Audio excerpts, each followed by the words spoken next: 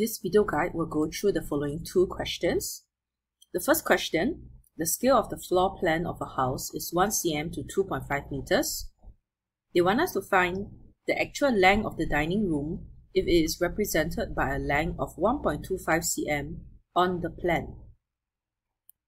So we write down the scale as given. So on the map, 1 cm represents 2.5 meters. So they want the actual length of the dining room if it is represented by a length of 1.25 cm on the plan. So 1.25 cm will represent 1.25 times of 2.5 meters. So we see that I need to multiply by 1.25 on both sides of the ratio and that will give me 3.125 meters. So the actual length of the dining room is 3.125 meters.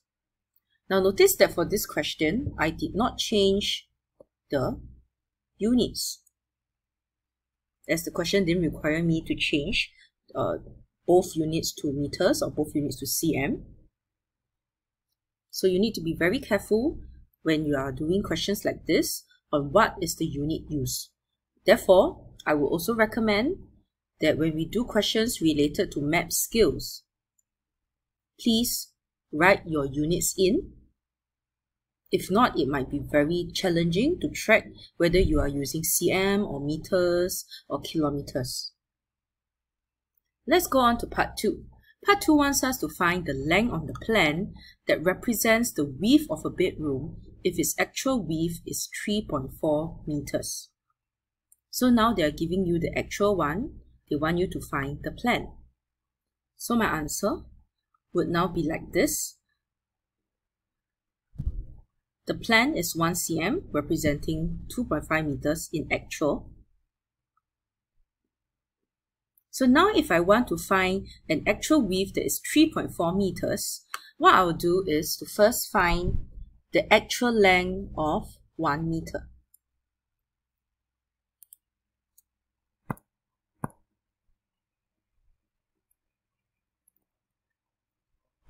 So I will take the ratio. I'll divide by 2.5 so that I know that 1 meter width will be represented by 0.4 cm on the plan. Now, once we have the 1 meter of width found, we can proceed to find 3.4 meters of width. So I just have to multiply by 3.4 on both sides of the ratio to give me 1.36 cm. Notice again that the units used are all written clearly so as not to cause any confusion.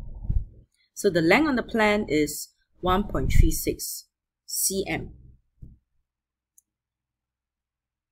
We'll now go on to question 2.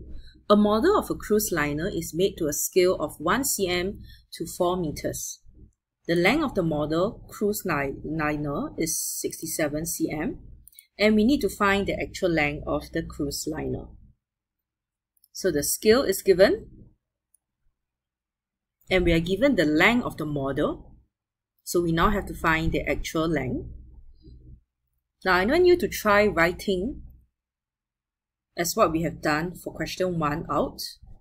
So you write down the plan 1 cm is represented by 4 meters in actual.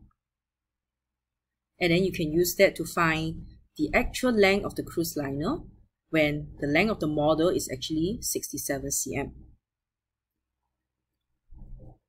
So I hope you have this, the model versus the actual, and the answer would be 268 meters. Now for part 2, they want us to find the length of the model cruise liner if it is made to a scale of 1 cm to 10 meters. Now for this question, they have now changed the scale, but we do have the actual length of the cruise liner from our answer in part 1. So now we have to work backwards, okay, to find what is the length of the model cruise liner if the scale is now changed.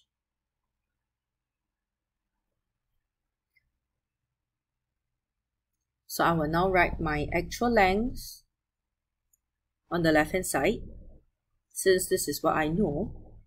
So we know that 10 cm in actual would be modeled by 1 cm on the model. Then I want to find what is 268 meters in actual as modeled. So I can do that by finding 1 meter first and then 268 meters. So I will do the same on the other side of the ratio to get 26.8 cm. So the length of the model cruise liner will now be 26.8 cm if the scale is changed from 1 cm to 10 meters.